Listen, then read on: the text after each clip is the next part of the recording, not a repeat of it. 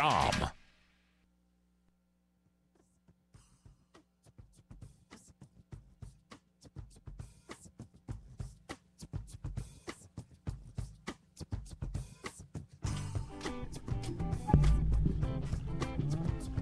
Welcome back to La La Land on CRN Digital Talk. That's Nettie Liddell. And that's Brett Chapin.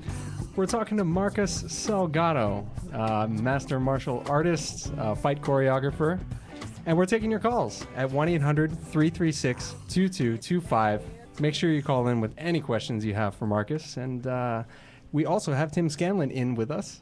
Hey. Thank- Hey, Thank you guys so much for being here. thanks for having us. Um, we had Tim on last week, and he brought to us this amazing um, stunt choreographer, consultant man who's worked with pretty much everybody and everything in Hollywood. You're Um, so kind. Yeah, thank you so much for being here. Thank you. But you're not from here. No, I'm not. I'm originally um, from New York City, but I've been living here uh, now for 17 years. Wow. I love LA. I love LA. Uh, he La La loves Land. LA. You hear La La that? From yeah. New York, loving LA. Yeah, love right? LA. Yeah. absolutely. Okay. So how did how did you get here? How did you get here? Um, I had a buddy of mine who um, I, I met in school up at uh, State University of Purchase. Um, we developed a friendship. He was in the drama program. Uh, at the time, I was just a liberal arts student. Uh, I ran a martial arts uh, program there, and uh, he became one of my uh, students. And his name is Wesley Snipes. And as his career began to grow, he brought me out to LA with him, um, especially for the action films that he did, starting with Passenger 57 all the way to um, Blade. Okay, So Wesley Snipes. I've heard of him before. Yeah. That's cool. oh my gosh. So, Um, but before that, like, because you mentioned that you were from like the Harlem Bronx area. Yes. Was it because of being in like a tough area that you got into like mixed martial arts and fighting and stunts and all that? Or Um, well, martial arts definitely uh, became handy. Uh, yes. growing up. Uh, so yeah, definitely that that was uh, an impetus at first. Um, however, uh, I, I just fell in love with it. Um, so from there, training and practicing, and it just was a natural na- natural evolution um, from martial arts into stunts. Because much much of stunts, actually, ninety percent of it is is fights. So you know, if you're a martial artist, it's it's um, Sorry, you got to talk into the mic. okay. Tomas, what do you want him to do? Right.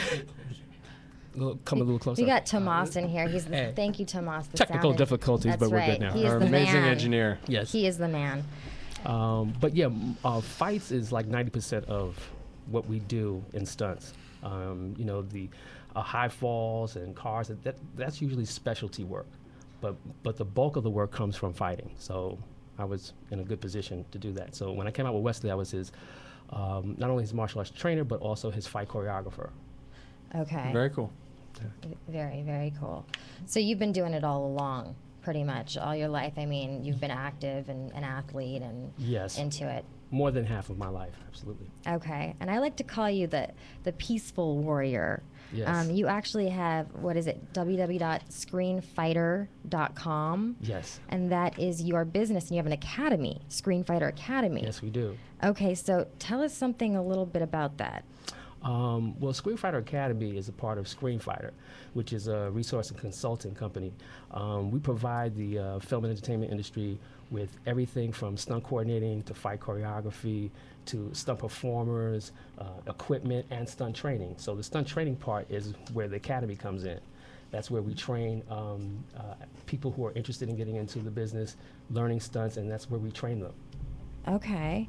All right. Cool. Do you And have I a s- lot of uh, students? How many students do you have in, in the academy? Um, well, you know, we have probably about 20 or 30 um, normally, but it's it's it's usually um, when we're working. uh, If someone's if I'm working, it's it's, it's very hard to kind of keep the people together. But when we have a down period is when we train. Okay. So um, so so the so the membership kind of varies, but it's usually about you know 15, 20 people at a time. Great. And I say peaceful warrior because I'm looking on your site and I see it says Taoist. Let me say it right. Uh, Tao- Taoist. Taoist. Okay, I'm sorry. No, it's okay. I'm American. No, it's oh my gosh, no, I shouldn't have said that The that. T is yeah D in, in, in Chinese. Okay. Yeah, All right. it's okay. Taoist meditation and safety handling. So it's like safety through Taoist meditation. Is that what's going on? Or No. It, um, on the site there, I just named a number of things. Number that of I do. things. And Taoist yoga is uh, an exercise um, similar to Tai Chi, but it's it's sort of the warm up part of the Tai Chi training. And then uh, the Tai Chi is actually the form. So the Taoist uh, yoga is um, a form of yoga, but it's it's moving yoga, like they like to call Tai Chi moving meditation. So martial arts is actually a very peaceful thing. It's also meditation, and uh, Absolutely. I think, uh, It- yeah, I think that's a big misunderstanding that people have as the uh, the spirituality connected to it, right? Totally. Um, I mean, uh, martial arts started with the spiritual s- s- sector of society, monks and and and and uh, religious uh, people started um, martial arts coming from, you know, from down from Egypt to India to Asia, all through the centuries. Uh, it's always been um, people who, who have a spiritual background, and, and it was always used for for self-defense and for personal cultivation, as opposed to, you know, war or wanting to hurt someone. Like in China, they even say to till this day, if you want to uh, learn how to fight, join the army. If you want to learn martial arts, well, then that's something different. That's art. You want to learn art? Learn martial arts. That's right. And then at www.screenfighter.com, you guys, you guys say safety is the priority. So it's Oh, all about.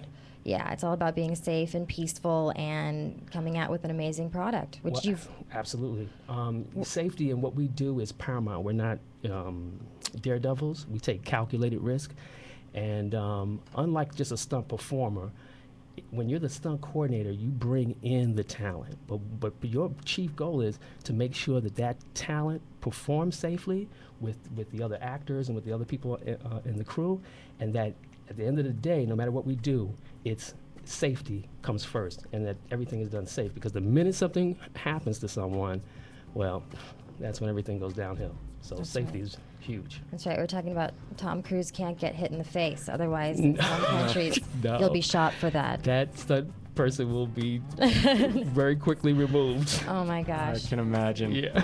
Be a major Thank you so much for being here, Yes. uh, Tim, Tim Scanlon, and Marcus Salgado. And we will uh, be right back to talk about who else Marcus has worked with and what else venture, what other ventures he's done here on La La Land. With Brett and Nettie on CRN Digital Digital, Talk. Talk.